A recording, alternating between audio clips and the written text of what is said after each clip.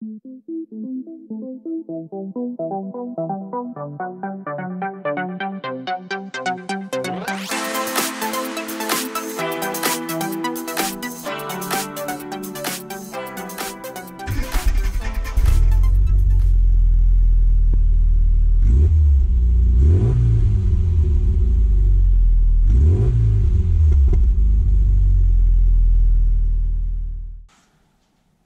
mini enthusiasts, how you doing? I hope you're all well. New Hoover. It's not about the new Hoover really, I just wanted to distract you from that.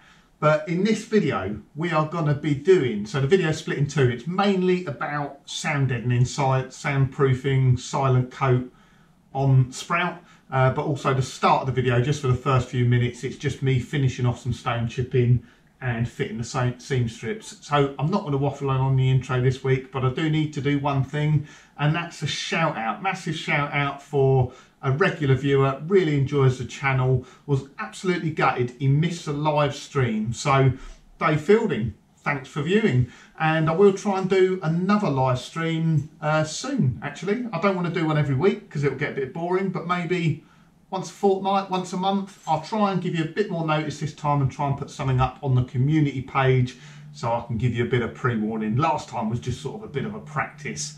But yeah, let's get straight into it. Dave Fielding, thanks for viewing and catch up with you all soon. Cheers. Right, apologies because I keep forgetting to film updates, but uh, at the moment we are just stone chipping the floor. So as you can see, the seal got paint, sprayed when it was painted up to the floor line and the floor line needs doing. It doesn't actually need stone chipping because it's been done in U-POL Gravitex um, but obviously it's got grey primer on it and that's going to look horrible. So I've just got some black stone chip and we'll just give it a light coat of black stone chip on the actual floor just to get rid of this grey. But obviously I need to mask it off nicely because I don't want to go getting black on my nicely painted seals. Right, that was one of those five minute jobs that turned into five hours. I obviously stone chipped the whole lot front to rear. I sprayed stone chip up inside the flutes as well. Obviously had to let that dry then. Uh, and then I fully waxed it inside and out so obviously I haven't waxed the outside of the green bits, but I've sprayed wax up inside of each flute until it's running out. And then I've taken the bungs out inside the access inner seals and those have all been waxed as well. So that should be pretty well protected now. So um, just got to get the other side done now.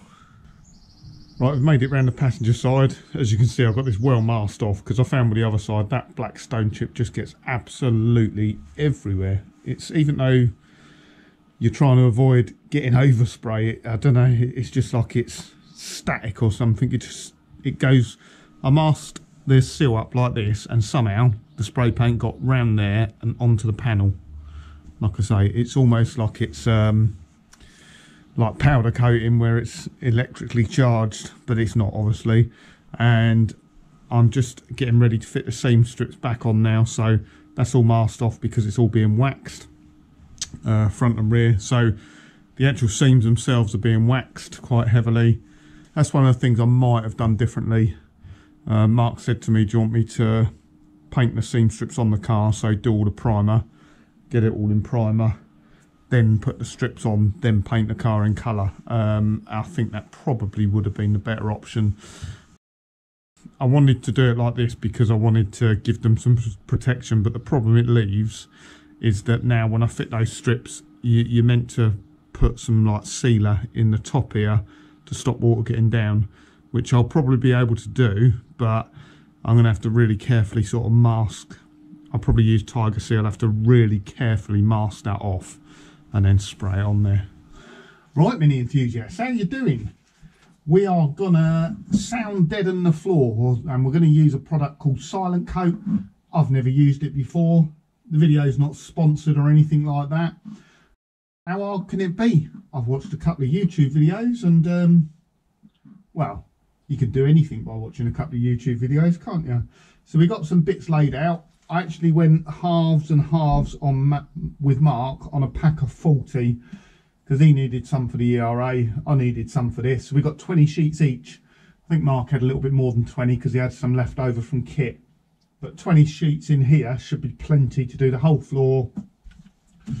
Probably up the unit arches and maybe a bit on the rear seat squab because the original sound deadening has come off. so it's pretty straightforward, I think. A uh, few tools we need to do it. So uh, roller, heat gun. So you have to heat it up a little bit. It just becomes more pliable and it gets a bit tackier when you heat it up. So heater, a roller. Um, we've got a Sharpie pen, a ruler for measuring out and some tin snips just for cutting it. I think you can use strong scissors or tin snips. But the first thing we're going to do, is just go over the floor, where we're going to lay it, and just go over it with some brake cleaner just to get off any well any wax or solvents or anything like that which might prevent it sticking nicely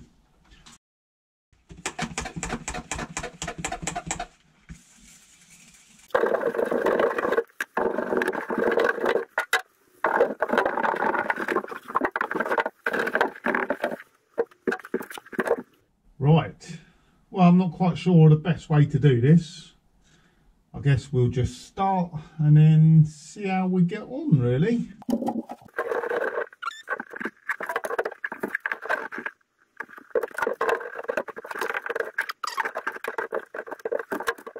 Some people do every square inch. They'll put it all over the roof. They'll cover every last inch of the car.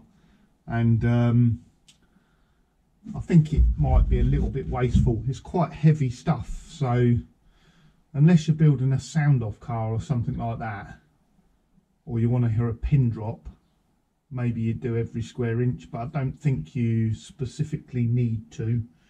I'm not sure how much better it is, is by covering every square inch, but when you see them demo it, they'll have one pad like that on a piece of metal probably twice the size of that and it's pretty effective.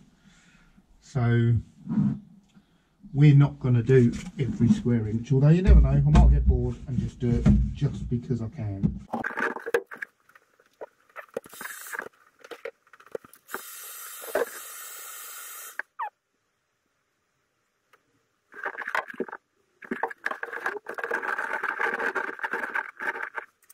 Right this is probably where I'm going to do it different to some people just because my brain logic works a little bit different to other people sometimes. I'm not going to put silent coat over the top or fill in these channels with silent coat because what happens if the carpet ever gets wet or anything like that as you'd have seen in the original sort of videos I sprout where I took up this original sound deadening it just traps water underneath here and certainly looking at like these holes here underneath the crossbeam if I were to put silent coat down into there all that would happen is I'd just have a water trap in the in the middle for water to collect that wouldn't be able to get out. So it's a bit more fiddly but I'm just going to silent coat the higher bits. Uh, and I'll have to do a bit of cutting and shaping. But like I say you don't have to cover every square inch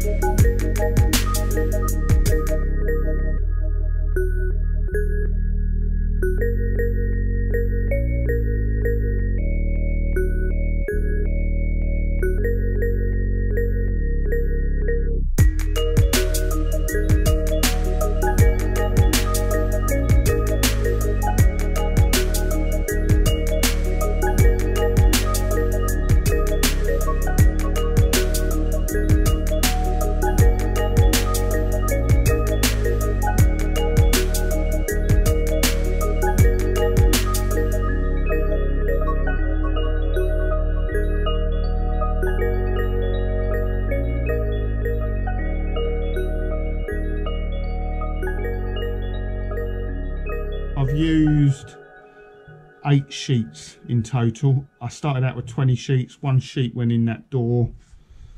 One sheet went on the back there. So I've got 10 sheets left to do the whole of that other side. That's, that should only take eight sheets, uh, which will leave me two sheet spare. So there's some bits up on the toe board I can do a little bit more. Um, yeah, and that'll probably be about it. I'll need a bigger piece for the inner wing on that side. But I'm not going to film doing the other side. I might show you once it's all done, but it's dead easy to apply. Uh, doing it my way probably takes twice as long because you're measuring out all the bits rather than just slapping it on and rolling it out.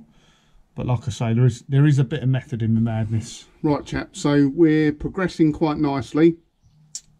I'm almost finished now. I'm just doing bits and bobs up on the rear parcel shelf and I'm doing inside these rear door bins as well because they're a big metal surface that doesn't have any soundproofing on. Obviously the quarter panel does have but the door bins don't and I just thought this was I've only stuck a small piece inside the door bins because I don't have much left but I thought I'd show you what difference it makes. That's without it.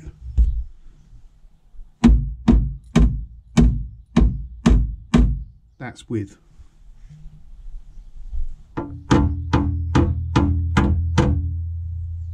And that has only got a small bit inside there. Right, so that's a silent coat, all done. And yeah, leave a comment down the bottom what you think of my method about uh, leaving the gaps for the channels. Like I say, there is a bit of method to my madness and that is so that water can't get trapped underneath this cross member or get underneath the silent coat itself. I did speak to Mark about it. Mark's just doing his ERA at the moment. Uh, and as he said, if if you get it stuck down really nicely, then there's no chance of water getting underneath it. But like I say, go back and watch the early episodes where I, where I was taking up the old soundproofing. Clearly that had water underneath it and it had oil underneath it as well. So that way that can't really happen. Um, it allows the silent coat to go a little bit further as well because you're not completely covering it. So I've done this whole car with 20 sheets. So um, I think about, let me think, 20, one went in the door, one's gone in the boot, one's gone on the rear shelf, probably one elsewhere. So maybe 16 sheets on the floor. Um, and I've tried to get everywhere like I say, you don't have to completely cover it. In fact, you, you know, if you do, there's no problem with doing that, but it does add weight to the vehicle. Uh, I think maybe the only downside of doing it like this is it gives you more edges where obviously that the edge of that will probably stick to the carpet where the um, the black sort of, it's not bitumen, whatever it is, it might stick to the carpet or I might just put some plastic down first um, but yeah, that's the whole of the floor done. Um, these rear quarters have soundproofing in them anyway. I've done the rear seat, the rear seat squab on the back because that's a big panel that doesn't have soundproofing. I've done inside the rear door bins. I think that's quite important because they were making quite a noise. I've done the rear parcel shelf again. It's a big panel um, and I've done what was left over in the boot as well. So I've done the spare wheel well. Something else rattling under there. Have a look at that. Uh, still slightly tinny, but it certainly should help it. And I guess if you were doing the whole car, uh, I haven't done the roof because it was already on the roof. I haven't done the bonnet purely because of aesthetics. I don't want it looking silver like that underneath when you lift the bonnet. So I probably will fit soundproofing, but it'll be more sort of the black original soundproofing so it looks standard. And the same goes for inside the boot lid. But um, already, when I shut the doors, it just sounds so much more solid. So it sounds much better. So that's that. Thanks for watching. Um, hope you enjoyed this update. If you did, please give it a thumbs up. Uh, please consider subscribing if you don't subscribe. And um, yeah, leave me a comment. Let me know what you think. Cheers. Big announcement. I've tidied up the garage and I've been hunting high and low for these arches. I thought I'd maybe put them in the back of Vinny, in the boot. PL, they're not in there.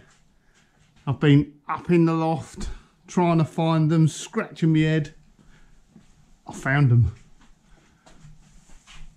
They're up there. Yay!